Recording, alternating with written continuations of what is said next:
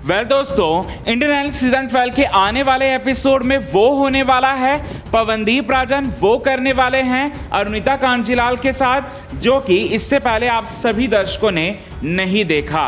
अरुणिता कांचीलाल एक ऐसा परफॉर्मेंस देखने देने वाली हैं जिससे पवनदीप राजन अपने आप को रोक नहीं पाएँगे। और अपने सीट को छोड़कर स्टेज पर पहुंचकर, वो पैर छूते हुए नज़र आएँगे अरुणिता कांचीलाल के।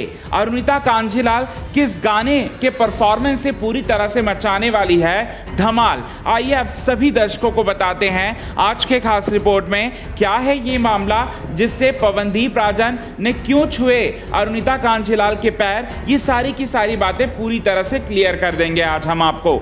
लेकिन इससे पहले अगर अभी तक आपने हमारे यूट्यूब चैनल चैनल को सब्सक्राइब नहीं किया दोस्तों तो सबसे पहले यूट्यूब चैनल को आप सब्सक्राइब कर लें। बेलाइकन के घंटे को नहीं दबाया है तो बेलाइकन के घंटे को आप ज़रूर दबा लें। इंडियन सीज़न ट्वेल्व का आने वाला जो एपिसोड है, वो काफ़ी रोमांचित होगा।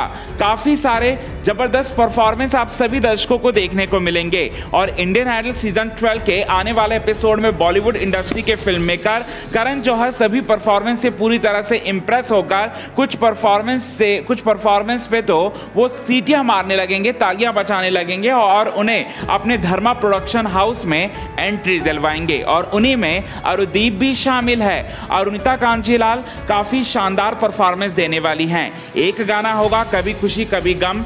फ़िल्म का टाइटल ट्रैक जिसमें लता मंगेशकर को, लता मंगेशकर की आवाज़ थी। लता मंगेशकर का गाना चुनकर उनके टक्कर का निभाकर एक ज़बरदस्त परफॉर्मेंस देंगी अरुणिता कांजीलाल।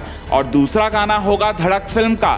धड़क फ़िल्म का, तू मेरे मंजिल है। इस गाने को भी शानदार परफॉर्मेंस देने वाली हैं अरुणिता कांजीलाल और इतना इमोशनल कर देंगी सभी को और इतना प्यारा गाएँगी कि पवनदीप राजन जो हैं, उनके एक्सप्रेशन को देखकर तो ऐसा लगेगा कि वो पूरी तरह से बेसुध हो गए हैं अरुता कांजीलाल के परफॉर्मेंस पर। और साथ ही साथ वो स्टेज पर वो स्टेज पर आते हैं अपने सीट को छोड़कर और साथ ही साथ पैर छूते हुए दिखाई देते हैं और कहते हैं कि आप सुरों की महारानी हैं। सुरों की रानी नहीं, सुरों की महारानी हैं। आप जिस तरह से, जिस एक्सप्रेशन के साथ, जिस मतलब इस गाने में जो जो चीज़ें चाहिए थी, वो सब चीज़ें आपने कूट कूट के भरी इस गाने के ज़रिए। अपने एक्सप्रेशन भी भरा, आपने अच्छी तरह से फील भी लेकर आया इस गाने में और बहुत ही कमाल का गाया। और ये सब बोलते हुए पवनदीप राजन जो हैं पैर छुएँगे। हालाँकि अरुणिता कांचीलाल को पैर छूना चाहिए पवनदीप राजन का, क्योंकि दोनों के बीच में एक दूसरे से प्यार है,